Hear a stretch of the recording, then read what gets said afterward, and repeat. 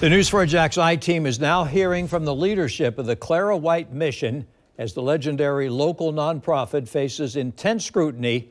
Back in August, five of the six executive board members abruptly resigned expressing dissatisfaction with the CEO, Ju'Coby Pittman, who was also a city councilwoman. One board member listed 15 concerns with the mission's leadership, most of which centered on Pittman.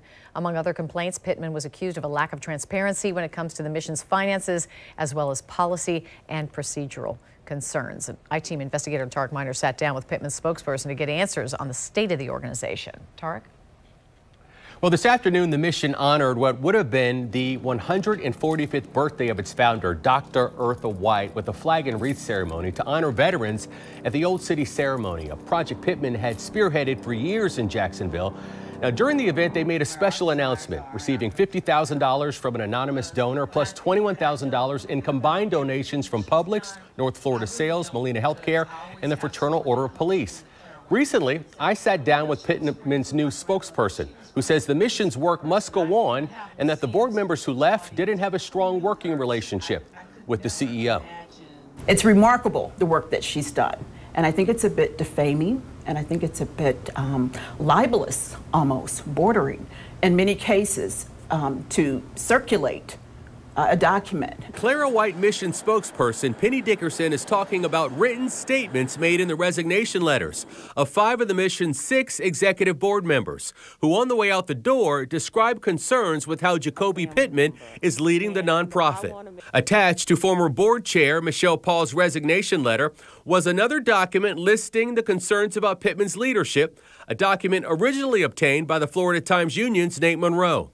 They include issues like the board's request for over three years of an automation of accounting and requests for Pittman's credit card statements for over four years, neither of which board members say were ever fulfilled. The credit card statements um, are as available to board members, and the Clara White Mission is audited at the end of each year. Never has there been any type of report in the auditing that speaks to, um, you know, malfeasance or, you know, um, it, you know, any type of uh, um, infraction, you know, where money is concerned. Dickerson says full automation of the Clara White Mission's accounting is a three-phase process that's currently in phase one.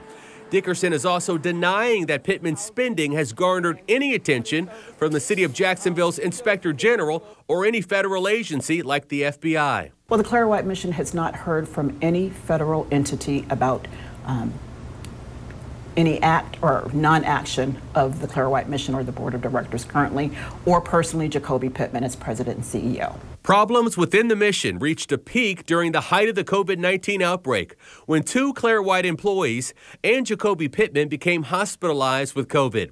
Beloved Clara White Mission chef Keith Smith also died from COVID 19.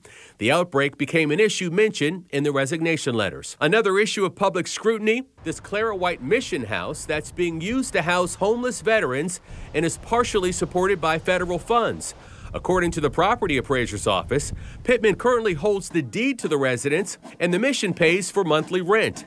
Dickerson says ownership of the home is now being transferred to a trust. I believe Ms. Pittman thinks that's the right direction for the um, facility to go in. That way there will not be claims, okay? That way it will not be misunderstood.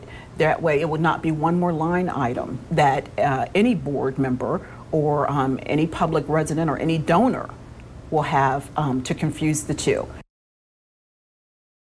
Now, another claim in this 15 point letter was that mission resources were being used to support Pittman's work on city council. Now, her spokesperson tells us that many of Pittman's staff and volunteers have done work for her, but they volunteered and did it on their own time, and she says they were never pressured to do so.